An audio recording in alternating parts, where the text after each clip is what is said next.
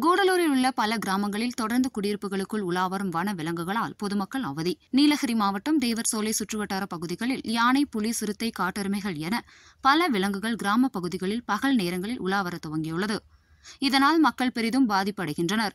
இந்த வனவிலங்குகள் சில நேரம் மனிதனை தாக்குவதால் உயிர் சேதம் ஏற்படுகின்றது.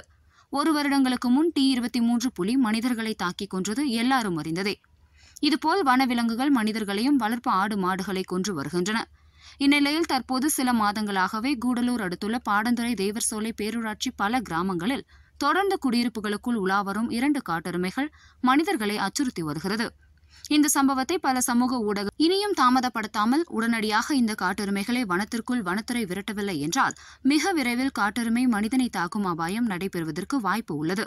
எனவே வனத்துறை அதிகாரிகள் தக்க நடவடிக்கை எடுக்க வேண்டும் என குடியிருப்பு வாசிகள் வருத்தத்துடன் கோரிக்கை விடுத்துள்ளனர். பக்கங்களில் தொடர்ந்து இரண்டு காட்டெருமைகள் பற்றி செய்திகள் வருகின்றது. ஆனால் இதுவரை இந்த காட்டெருமைகளை வனத்திற்குள் விரட்டுவதற்கு வனத்துறை இதுவரை எந்த முயற்சியும் மேற்கொள்ளவில்லை. மனித உயிரை பலிவாங்கும் முன் வனத்துறை இந்த காட்டெருமைகளை வனப்பகுதிக்குள் விரட்ட வேண்டும் என பொதுமக்கள் கோரிக்கை விடுத்தனர்.